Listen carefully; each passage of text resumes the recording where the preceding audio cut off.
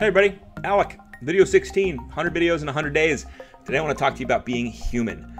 Man, it's such a cool topic since we are all humans. But what I really mean is there's so many people I see on social and digital putting out content and campaigns and drip campaigns to past customers and prospecting efforts and all the stuff they're doing doesn't show their humanity.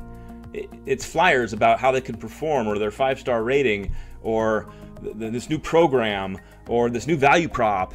And the problem with all that stuff, that stuff's great and fine, but don't lose your humanity in your marketing. That's why I'm so forward and, and pro video because it's really hard to hide your humanity on video. You can try, you can read a script and you can do this and you can sound like this, but it's you realize real quick that doesn't that's not what people want.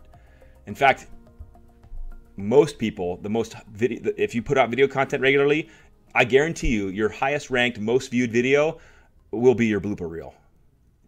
See you tomorrow.